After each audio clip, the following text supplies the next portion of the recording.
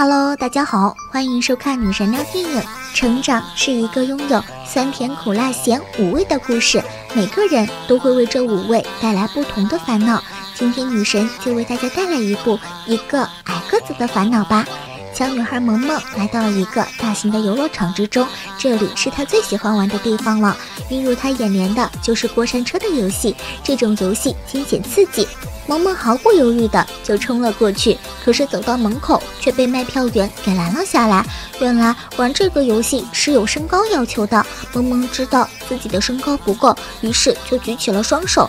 卖票员又不是傻子，直接让萌萌去玩摇摇车。萌萌当然不是好糊弄的了，于是他生气的走了。没过一会儿，萌萌戴着长颈鹿的帽子再一次来到了这里，卖票员却说：“你这身高是硬伤呀，赶紧走吧。”这招不行，萌萌就把肯德基全家桶粘在了脚下。他自信满满的走了过来，可是还没有走到卖票员处，纸筒就被他给踩扁了。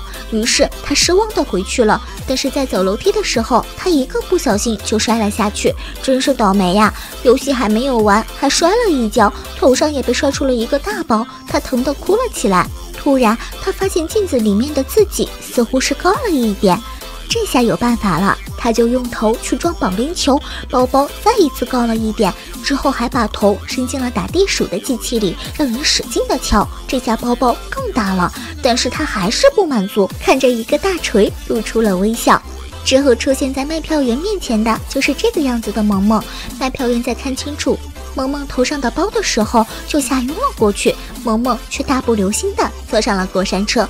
当轨道的大门打开之后，萌萌愣住了。原来太高了也不行啊！想要刹车已经来不及了。就这样，萌萌在轨道之上受尽了折磨。好不容易挨到山车停下，却发现头顶上的包已经大得出不来了。看来做高个子也是有苦恼的，就是不知道刚限高的时候，高个子该如何解决呢？